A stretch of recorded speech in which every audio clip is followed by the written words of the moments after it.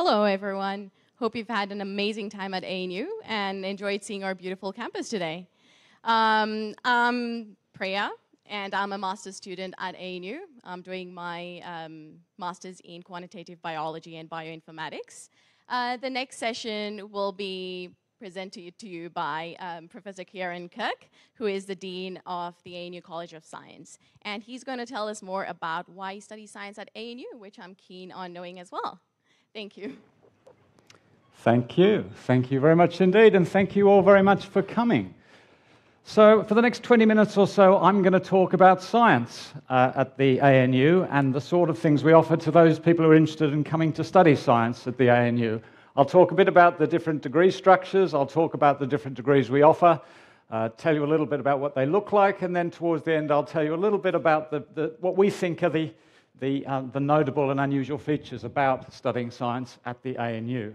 So, I'm Kiaran Kirk, I'm the Dean of Science here, which means I have broad responsibility for all the different science disciplines that we do teaching and research in here at the Australian National University. And just to give you a bit of an overview, this goes through astronomy and astrophysics. And of course, our Vice Chancellor, Brian Schmidt, is a famous astrophysicist who won the Nobel Prize in Physics in 2011 in this field. We cover biology, we cover chemistry, we cover earth and marine sciences, environment and sustainability, mathematics, medical science, physics, and science communication. All of these disciplines are areas in which we do teaching and research, which you can come and study here at the university. So, a little bit about the undergraduate science programs here at the ANU. In terms of the science degrees, we offer a number of different science degrees. The Bachelor of Science is our fundamental degree. It's a three year degree. It gives you enormous breadth of subject choice. And many people come into a science degree not really knowing what they're interested in, other than in a broad interest in science. And typically, as you go through, you refine, you discover things you're interested in, and the Bachelor of Science allows you to carve your own path there. We have a degree called the Bachelor of Science Advanced, which has an honours component built in, and I'll come a little bit later to what that means. This is a four year degree because of that honours component. If you come into the university in this degree, you are guaranteed uh, a place in the honours program. So you have guaranteed honours entry. And then as you go through as an undergraduate in your first three years, before you get into the honours program, you have particular opportunities available to you, what we call honours pathway options in some of the courses that you're studying in first year, second year, and third year. And then we have a degree called the Bachelor of Philosophy. And the Bachelor of Philosophy is a highly selected degree. It guarantees you honours entry, similar to the Bachelor of Science Advanced. It's a specifically research intensive degree, and the PhB is for people who come in knowing that they are interested in research. And part of the experience that they get as they go through the first three years is they actually get involved in the research that we're doing here at the university. Each Bachelor of Philosophy student is assigned an academic mentor. Are we filming this? Terrific. Each Bachelor of Philosophy student is assigned an academic mentor and they interact as they go through their degree, and the student is given an opportunity to work in the science research groups with the science researchers as they go through. So it's a very particular sort of degree for people who have a specific interest in research. So, in terms of the general degree structure, this is what the structure looks like. If you come in and do a science degree at the ANU, whoop, sorry, wrong button, there. Each year, so the basic degree structure has three years first year, second year, and third year. And in each of these three years, first, second, and third year, you will do, in first semester, you'll do four courses, and in second semester, you'll do four courses. So that's eight courses. Each of the courses we assign six units to, so that by the time you finish first year and you've completed eight courses, four in each semester, you'll have accumulated 48 units, another 48 units in second year, another 48 units in third year, which means by the time you finish these three years, you will have 144 units, you will have completed 24 courses, and if you want to, you have the option of graduating there. And then that's typically what a Bachelor of Science student might do three years and then to graduation. If you're interested in doing a different sort of year at the end of those three years, as a fourth year, and I'll talk a little bit about what this, on, this honours year entails, you do an honours year gives you a fourth year, gives you different sorts of experiences, and many of our students graduate with an honours degree. And those with an honours degree typically go out into the workforce, or if you are interested in doing a PhD, then typically that's what you do before you then embark on a PhD, either here or elsewhere. And, and a significant number of our students do that. In terms of prerequisites, before you come into a science degree, and as you go through the science degree, many of the second year courses have first year courses as prerequisites, and many of the third year courses have second year courses as prerequisites, which means to do a certain subject in second year, you have to have done a particular subject that prepares you for it in first year. And the same goes for third year as well. And the general philosophy in the science degrees is that first year is very broad, Second year starts to focus and get more specialized in particular areas. And third year is more specialized. And that's where you really narrow in on the particular fields of science that you're interested in. And so you have to keep an eye on the prerequisites. If you have particular things in mind as for second and third year, you need to make certain choices in first year. But just so that doesn't seem too daunting, just to let you know that we provide you with plenty of help with that. So you'll have the opportunity to speak to people who will ask you about your interests. Where do you think you might like to go? And if you might like to go in this direction, it's probably a good idea to do this course in first year so that you could have this range of courses in second year and these courses in third year. Back to the Bachelor of Science, the fundamental science degree. The science degree is flexible. Two thirds of the courses have to be from science, and up to one third of the courses can be from any other part of the university. So if you know you're interested in science, but you don't want to give up other things that you're interested in, this is a good degree for that because you can choose things from all over the university. As you go through the science component of your degree, you do what we call majors. So students choose at least one major plus a minor. And I'll explain what that means in a minute. Or some students choose two majors. For those who choose to do so, there's the honours year, there's the fourth year. Students can progress to honours from this program, and you decide this in third year if you're in the Bachelor of Science degree. And the Bachelor of Science degree, then, who is it for? It's for students who want a range and breadth of subject areas to choose from, including subject areas from outside science. So it's a very broad degree for people with a broad range of interests. So I referred to majors and minors as you go through. As you go through a science degree, you do specialize in particular areas. For example, you might specialize to some extent in biology, you might specialize to some extent in chemistry. These are the sorts of uh, titles for the majors. A major consists of eight courses or 48 units, and there's a very broad range of courses within each of the majors. So, as you go through the science degree, you might have a major in biology, for example, and a major or a minor in chemistry. A minor consists of four courses. And minors can be more specific. So, whereas the majors have titles like biology or chemistry, minors have titles like biological neuropsychology. They're more specialized, and you have combinations of courses that relate specifically to those more specialized disciplines.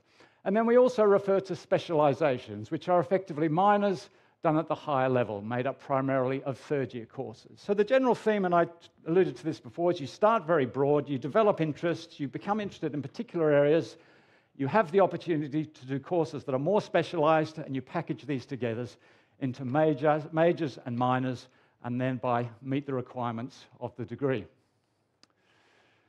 So there are other science degrees, as well as the Bachelor of Science, which I've been talking about. There are other three-year degrees that are somewhat more specialized. There's a Bachelor of Science Psychology, which is a three-year degree.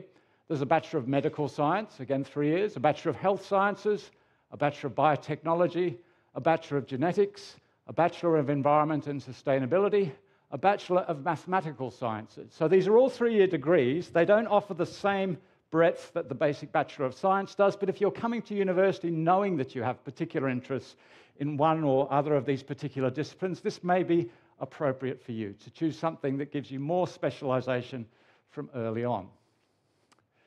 In terms of prerequisites, as you think of coming to the university, there are no general prerequisites for a Bachelor of Science. Note, however, that if you're coming to the Bachelor of Science and you want to do chemistry, chemistry does require that you have year 12 chemistry, or if you don't have year 12 chemistry, and I know that some of you will be sitting here thinking that you might want to come in and you might want to do chemistry for reasons I'll come to, that's fine because in the chemistry school, we do offer what we call a bridging course. So, the summer prior to first year, if you haven't done chemistry, you have the opportunity to come and learn the fundamentals of chemistry that then allows you, in the same way that year 12 chemistry allows you, to go into first year chemistry at the university. And the reason why first year chemistry is important is that first year chemistry is a prerequisite for second year chemistry and third year chemistry, but it is also a prerequisite for some of the later year biology courses. So if you come in thinking you want to do biology and you haven't got chemistry, you might then want to do the bridging course so that you can do first year chemistry because first year chemistry is required for some of the later biology courses. There are prerequisites as well for mathematics, and if you're doing physics, again, you will need to have done some mathematics along the way. So some subjects do have prerequisites, and again, we will give you plenty of advice on that. Some programs, that's degrees, have prerequisites, as first year chemistry is a required subject. So if you're coming into the Bachelor of Medical Science, the Bachelor of Health Sciences, the Bachelor of Biotechnology, or the Bachelor of Genetics, you have to do first year chemistry as part of those more specialized degrees.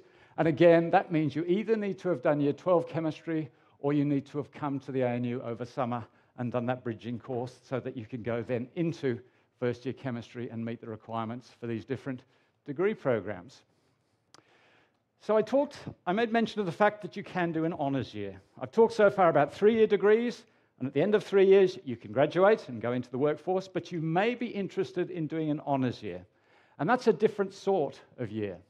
It's a one year program. In some areas of the Science College, it involves 50% coursework in other, and, and 50% research. In other areas, it, it involves almost entirely research. So, this is whether you're doing it in maths or physics or whether you're doing it in biology, it's your introduction to being a researcher. You have your own research project, you work closely with a supervisor, typically within a research group, and you are working on a very particular project, you're carrying out experiments, or you're carrying out field work, or you're doing the relevant mathematics, you're at the cutting edge of research, you're writing a thesis on the basis of that. As you go through, you're doing the sorts of things that researchers do. You're interacting with other researchers, you're giving oral presentations, you're giving written presentations. You're not sitting in the research component, you're not doing the same level of coursework, you're not doing exams. It's teaching you an entirely different set of skills and it's, an, uh, it's a year that many of our students take advantage of. You learn how to do independent research, you learn about time management, you learn about critical thinking, and again, the honours year is a very particular experience that many of our students take advantage of. If you're going to do a PhD, you need to have done an honours year, and with the honours year behind you, with these sort of skills behind you, that makes you eligible for a wider range of job opportunities. So, this is the fourth year. You don't have to do it as part of the three year degrees that I've been talking about so far. You do do it as part of several of the other degrees that I mentioned. And I mentioned the Bachelor of Philosophy, where you actually start doing research in the first three years, and then you go on and do this fourth honours year. In the Bachelor of Science Advanced, again, to graduate with this, you need to do this fourth honours year, this research based year. In the Bachelor of Psychology, the same. And in the Bachelor of Environment and Sustainability Advanced, again, Built into these degrees is this fourth year, this year where we focus on teaching you research skills and all the associated skills associated with that. So, let me say a little bit about this Bachelor of Philosophy, this research focused degree. It's the most highly selected degree at the university. As I said, it introduces you to doing research from first year. You're assigned an individual academic mentor who advises you as you go through the years of your degree, who helps you find placements in research groups, working with researchers, helps you find projects. It's extremely flexible. As part of the PhB, you do a lot of science, but you can go off anywhere else on campus and pick up other courses, so it gives you a lot of flexibility. You need to do the honours year, so it's always a four year degree. And for a particular, for a particular number, a particular quota of students in that PhB degree, there is a pathway into the postgraduate medical course here at the university. And certainly we can provide you with advice on that if that's a route you would like to take. There are also what we call flexible double degrees. You can combine your science degree, and this is a particular feature of degrees at the ANU. Many people do combine their science degrees with a second degree, and typically, you can do that with an arts degree, you can do it with a social sciences degree, you can do it with a business degree, which means you, as you go through, you're taking courses from different colleges, And if you're doing a science arts degree or a science social sciences degree or science business, it'll take you four years. If you're combining science and engineering or science and advanced computing, it'll take you five years. And if you want to do a science law degree, combining science and law, again, that will take you five years. So this is a particular thing that, that a significant number of our students do. They combine degrees and thereby graduate with this broad set of skills and experiences. Just to touch on the fact that once you've done your undergraduate degree, there are many opportunities for doing master's degrees. Most of our discipline areas offer master's degrees. These typically take two years after you've done the basic bachelor degree of the sort I've talked about. You can do an advanced master's, and the feature of the advanced master's is that you have a research project and research training built in. So, again, it's got this research component that you can otherwise do as an honours year in the way that I've talked about. So, that's it in terms of the degree structures about what degrees we offer and what they look like and what you need to think about in terms of prerequisites, both beforehand and as you go through the degrees. But I'm just before I finish, I just want to talk a little bit about why we think studying science at the ANU is, is, is special, how we, the things that we pride ourselves on here uh, in science at the university. So, one of the features that we have is that we've recently built a lot of new buildings and we have dedicated teaching buildings that are specifically for teaching and have state of the art teaching facilities. And here, for example, is a modern lecture theatre. It's just a few years old. You can see that people no longer sit in rows. In this particular theatre, they sit around tables, they have a computer in the middle. It's not the traditional person at the front talking to rows of students. There's a lot of interaction in terms of, and the teaching spaces that we have allow us to provide this sort of teaching opportunity. And there again is another one of those rooms where the students are interacting as they learn. And that's a, something that we have in place. We also have a state of the art and again very new uh, building for practical classes. So, as I'll talk about in a minute, for anyone doing chemistry or biology or physics or earth sciences or other subjects, we have a substantial practical class component, and we have really good facilities in which to do that. And that's a very full class of first year biology students doing a molecular biology practical. We also do a lot of field trips. So, the students who come here, particularly those who are interested in biology or the environment or earth sciences or marine sciences will find, as part of their undergraduate degree, they will find multiple opportunities to go on field trips. And a field trip involves going away for up to a week. We send trips down to the coast, we send trips up to the mountains. We subsidize these trips, they're very educational and they're a lot of fun. And certainly, this is something that we really value. In terms of the sciences, both the practical classes and the fieldwork classes, we we, we promote those as a real feature of our, of our degree. As more and more universities, these sorts of experiences are, are complicated to put on, they're expensive, but we put them on because fundamentally we believe a good science training involves actual hands on work, either in a laboratory or in the field. So when you finish a science degree here, you will have these sorts of experiences to look back on, these sorts of experiences to draw on as you go on to whatever happens next. So, in terms of the distinctiveness of the undergraduate experience, certainly we have a lot of award winning teachers. One of the features of the teachers at the ANU is that because, as I've talked about, there's a lot of research going on, all the teachers that you have at the university, all the lecturers that you have are themselves active researchers. And they draw on that research in presenting, preparing and presenting their classes, and you have the opportunity as a student to get involved in that research if you'd like to. The teachers are very good. You have international opportunities. As an ANU student, we offer you the opportunity to go and study abroad for six months, for a semester. We offer many opportunities to go and do fieldwork overseas. It's one, again, one of the distinctive features of the university that students coming through, we hope, will all have at least one international experience, and in many cases, more than one. We have relatively small class sizes here at the ANU. The total student body at the ANU is not very large compared to the bigger big city universities, which means that the class sizes are relatively small. The student staff ratio is relatively small. And we also specialize, as you go through and you look at the different courses that are available to you, we ensure that whilst there are strong courses in each of the individual disciplines, we also have a suite of interdisciplinary approaches or interdisciplinary classes that recognize that in the modern world you need, in some senses, to, to bring together, to draw on multiple disciplines in, in approaching particular problems. So we have what's called the Vice Chancellor's courses, and That doesn't show up very well, but, but these are the titles of some of the Vice Chancellor's courses Leadership and Influence in a Complex World, Creating Knowledge, Unraveling Complexity, Mobilizing Research. And these courses are characterized, if you sit in one of these courses as a student, you will see lecturers coming in from all over campus and talking about interdisciplinary approaches to complex issues. And that, again, is an unusual feature of what we do here. I talked about the fact that all of the teachers that you have in front of you are active researchers. Research underpins everything we do. And as a student, you uh, come to realize that very early on as the lecturers talk about the sorts of research they've seen published, the latest breakthroughs in the particular area that you might be studying. And as well as that, as a student, you feel part of a community in which the students and staff are constantly making new discoveries. So some of the undergraduates are actually involved in the research. The honours students are certainly involved in the research. That's the main focus there, their honours year, and the PhD students, and it is a single community. So whether or not you have any interest in research, you will soon appreciate that the stuff you're learning is stuff that is ahead of the textbooks. You're learning stuff that has been recently discovered by people here or by people working internationally. And it is therefore, and it is through that, that we ensure that it really is a state of the art curriculum.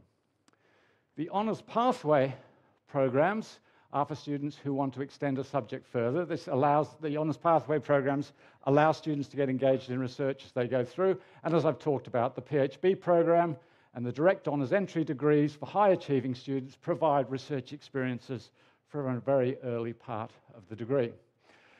When you find yourself a student here at the ANU, you have a lot of support from the teaching staff and you also have support from your fellow students. And we formalize this in what we call the peer assisted learning program. In first year, we have students from later years coming together and helping the students from the earlier years.